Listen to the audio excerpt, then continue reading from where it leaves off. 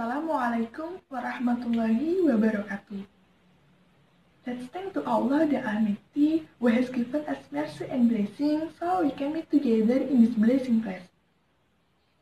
And also let's deliver salat and salam to our Prophet Muhammad sallallahu alaihi wasallam who has brought us from the darkness to the brightness. The terminology, the Quran is the word of Allah Almighty down to the great Prophet Muhammad wasallam. One of its functions is hudan linnas, guidance for people on this earth. That's why the role of Islamic education is as the agent of change that must be able to repair the people's character. As we know that one of moral crisis reasons occurred in Indonesia is because of losing the noble character. Consequently, we as the young generation have a big question here. How to build the people's noble character to face the moral crisis in our country? Of course, it is quite difficult, but the most effective way to improve and to develop the noble character is from improving the way of thinking. Islam is very concerned with education. With the right and qualified education, individuals will be formed, which ultimately lead the people into the noble social life. In the rule of Islam, Islamic religious education can be powerful in shaping the character of the people. It seems clear that Islam emphasizes the role of education in its primary purpose in devotion Allah optimally. Characters can be formed through the environment, such as family environment in childhood. If just that is so, the human's characters will not be changed easily. However, that opinion could be wrong. If the opinion is right, then the character education is useless because it will not be possible to change the character of the person. Why can Islamic religious education shape the people's character? Because education is the main thing for human life, even human will be as if not human without primary education. For that reason, people must get better education to get a better life and they will reach better future. Then there will be no better future without having to build the noble character of ourselves.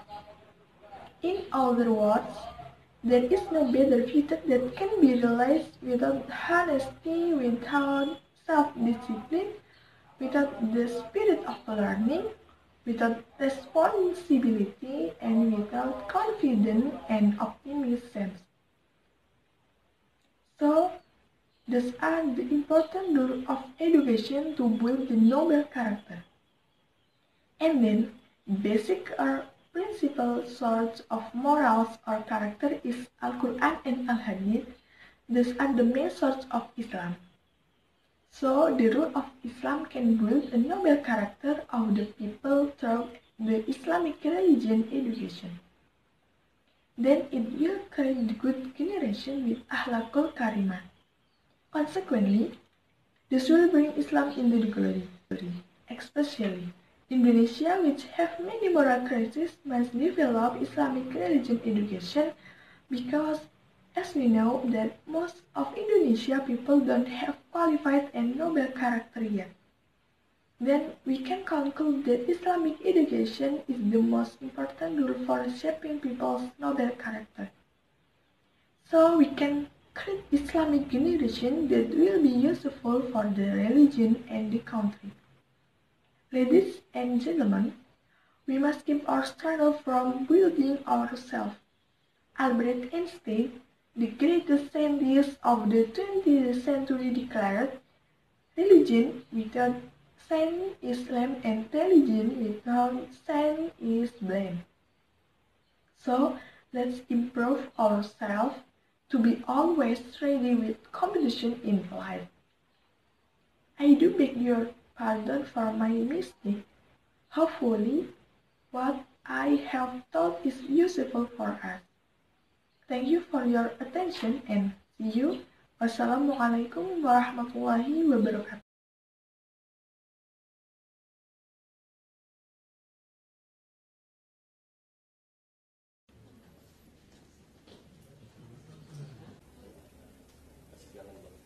Saluran pendidikan agama Islam yang konsisten dan merata dinilai dapat membangun karakter bangsa terutama untuk para generasi penerus.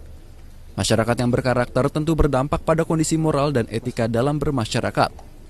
Seperti yang disampaikan Ketua Umum Dewan Pengurus Pusat Hidayatullah, Nasirul Haq usai bertemu Wakil Presiden Yusuf Kala Senin pagi di Jakarta. Menurutnya perkembangan pendidikan dan dakwah ajaran Islam harus semakin ditingkatkan. Menurut Nasirul, daerah-daerah pelosok di Indonesia masih belum mendapatkan pencerahan secara maksimal. Untuk itu DPP Hidayatullah melalui para kadernya terus mendorong pendidikan dan dakwah di daerah pelosok. Riau, bagaimana pendidikan Islam ini menjadi pendidikan yang unggul, ya, menjadi uh, pilihan ya bagi masyarakat. Pendidikan yang diharapkan melahirkan generasi-generasi yang berkarakter, ya, sesuai Eh, dengan cita-cita eh, bangsa Indonesia. Nasirul Haq melanjutkan selain mengembangkan dakwah secara merata, yang harus menjadi fokus adalah bidang ekonomi dan sosial.